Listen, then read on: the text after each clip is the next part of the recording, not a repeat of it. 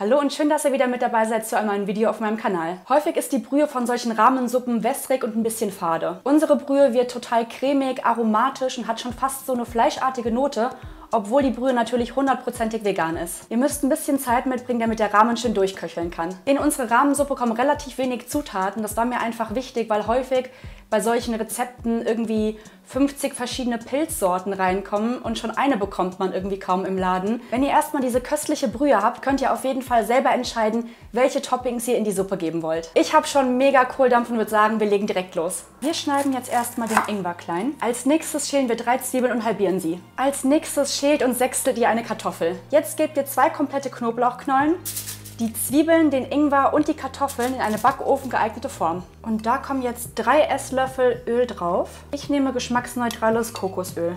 Das Ganze vermischt ihr jetzt ein bisschen, dass das Öl auch wirklich überall gut drankommt. Und dann gebt ihr das Ganze bei 220 Grad Ober-Unterhitze so lange in den Ofen, bis alles von allen Seiten so richtig schön dunkelbraun ist. Dafür müsst ihr das Ganze natürlich ab und zu mal umdrehen. So sieht unser Gemüse jetzt aus. Diese ganzen Röstaromen geben unserer Suppe ganz viel Aroma und Kraft. Wir gießen jetzt erstmal heißes Wasser auf die getrockneten Pilze und lassen sie dann ca. 20 Minuten mit geschlossenem Deckel ziehen. Als nächstes erhitzen wir das Öl und geben die gerösteten Zwiebeln vom Blech mit dazu. Das braten wir jetzt nochmal ca. eine Minute auf hoher Hitze an. Dann geben wir den Zucker dazu und karamellisieren das Ganze auf mittelhoher Hitze und rühren ca. 3 Minuten. Jetzt geben wir das restliche Gemüse dazu und dann unsere Pilze samt Wasser. Den Konbit zerteilen wir und der kommt mit in den Topf. Mixi mixi. Jetzt kochen wir unsere Brühe kurz auf, stellen sie dann auf kleine Hitze runter, schließen den Topf und lassen sie 90 Minuten köcheln.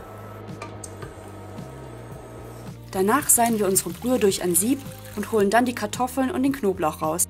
Das stellt ihr dann erstmal zur Seite. Den Rest lasst ihr jetzt richtig gut abtropfen und drückt es richtig schön fest durch das Sieb. Optional könnt ihr das Ganze auch super durch ein Tuch pressen, damit ihr so viel wie möglich Flüssigkeit rausbekommt. Ein kleiner Tipp von mir, weil ich mir die Hände verbrannt habe, lasst es erst ein bisschen abkühlen. Jetzt drücken wir den Knoblauch aus und zerdrücken die Kartoffeln damit zu einer Art Paste. Alternativ könnt ihr natürlich auch sehr gerne Mixi-Mixi machen. Die Paste gebt ihr jetzt zur restlichen Brühe und verrührt das Ganze gut. Dann gebt ihr die Miso-Paste, die Sesampaste, optional den Mirin und die Sojasauce dazu. Die Brühe kocht ihr jetzt noch mal ganz kurz auf und lasst sie anschließend ca. 15 Minuten auf kleiner Stufe köcheln. Wie ihr seht, ist die Brühe richtig schön cremig und dunkel und hat wahnsinnig viel Geschmack. In der Zwischenzeit könnt ihr super eure Toppings vorbereiten. Ich habe mich unter anderem für Fleischersatz im Chicken Style entschieden. Spanien ist voll das Pilzeparadies, deshalb konnte ich jetzt hier wirklich mal ein paar exotischere Exemplare ausprobieren, aber das Ganze schmeckt auch ganz prima mit normalen braunen Champignons. In meinen Rahmen kommt auch noch ein bisschen Pak Choi, damit das Ganze frischer wird. Wir richten unseren Rahmen jetzt noch richtig schön an und dann kann gegessen werden.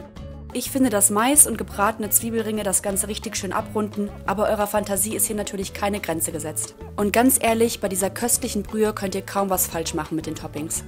Wenn ihr auch findet, dass dieser Rahmen köstlich aussieht und euch das Video gefallen hat, würde ich mich sehr über ein Like freuen. Selbst in Malaga stehe ich gerade fast jeden Tag in der Küche, um neue leckere vegane Rezepte für euch zu kreieren. Deshalb würde ich mich natürlich sehr freuen, wenn ihr ein Abo da lasst, dann verpasst ihr nichts.